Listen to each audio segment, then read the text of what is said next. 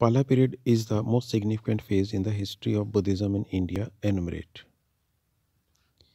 इस आंसर को रीडिंग से पहले थोड़ा सा हिंदी में एक्सप्लेन करूँगा सो so, पाला पीरियड जो है ये बुद्धिज़्म की हिस्ट्री में बहुत ही इंपॉर्टेंट है बहुत ही सिग्निफिकेंट है और हमें इसे एनुमरेट करना है एनुमरेट करना है कि हमें वन बाय वन बताना है कि कौन से किंग ने बुद्धिज़्म के लिए क्या किया पाला किंग्स का जो राज था ये एट्थ और ट्वेल्थ सेंचुरी के बीच बिहार और बंगाल के रीजन में रहा है और इनके जो मेन किंग्स थे, जैसे धर्मपाला था, महीपाला था और देवपाला था तो इनके, इन्होंने बुद्धिज़्म के लिए बहुत कुछ किया।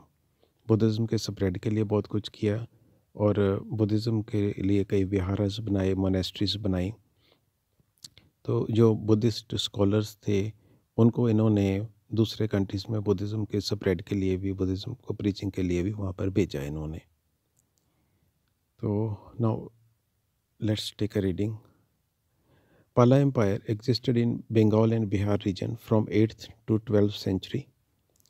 और जो Pala kings they were the patrons of Mahayana Buddhism Pala king Dharmapala made the Buddhist philosopher Haribhadra his spiritual guru. He established Vikramshila monastery and Somapura Mahavihara. King Mahipala I also ordered the construction and repair of several sacred Buddhist structures at Sarnath, Nalanda, and Bodh Gaya. The Palas established the Vikramshila and Nalanda universities. These were important centers to learn Buddhism.